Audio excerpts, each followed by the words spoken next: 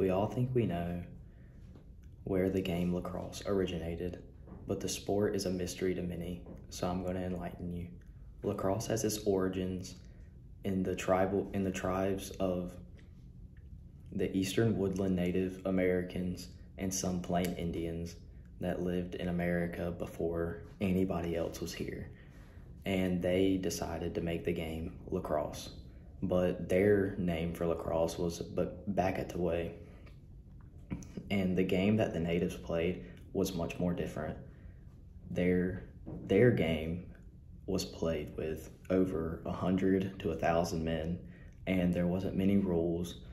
All they had were sticks, sometimes with net baskets, or they had pockets attached. And they had a little ball that was wrapped in deer hide, and the nets were deer sinew formed nets.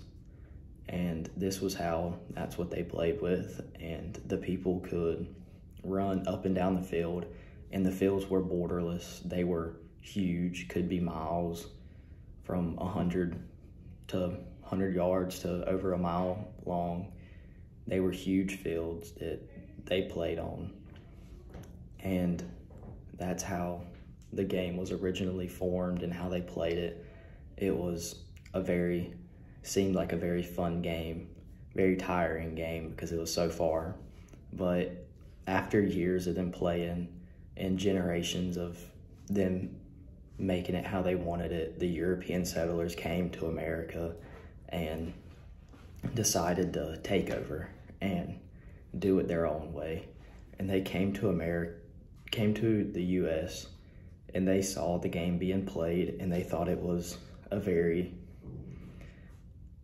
crazy game, but they liked it because the sticks resembled a relig- uh, they resembled the cross during religious ceremonies, and Jean de Brébeuf gave it the name lacrosse, and he was the one that really started it in Europe and thought it was a very fascinating game.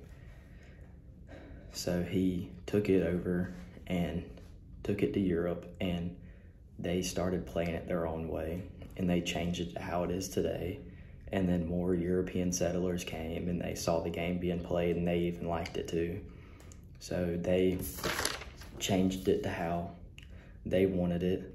And now the game's played from 100 to 1,000 men to there's 11 people on each side and each person has either they either have a six foot pole or a five no i think it's three and a half foot pole with a stick on it and then the goalie has their pole which is about four foot long and has a way bigger net than everybody and the nets are now instead of I guess the sinew formed, they have its metal with nets and it's triangle.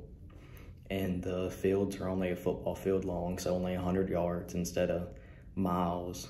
And now instead of borderless, we have the box, which is, it's pretty much a triangle, or no, a rectangle. And you have to keep the ball.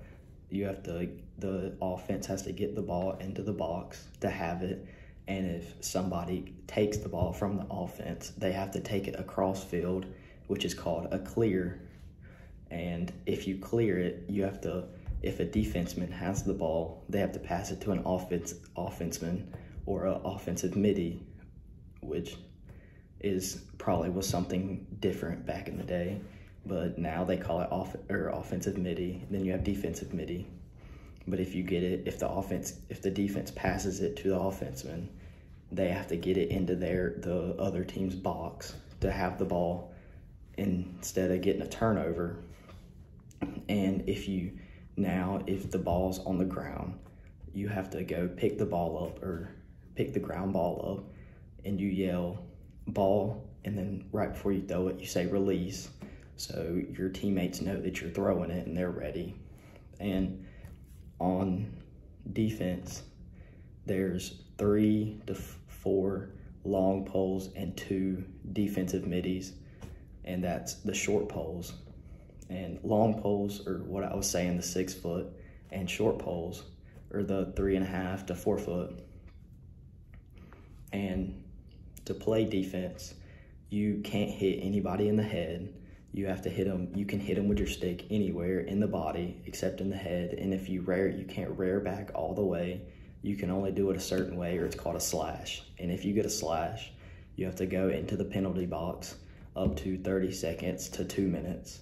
And after that, or during that, actually, your team is on man down. So there's one less person on the field, and you have to go. That makes it easier for the other team to score, or if the other team's on man down, you can score easier. And so it's a whole, it's just changed a ton from how the original game was played, and there's a ton of new rules. So that's the facts and origin of lacrosse and how it was came to be and how it is now.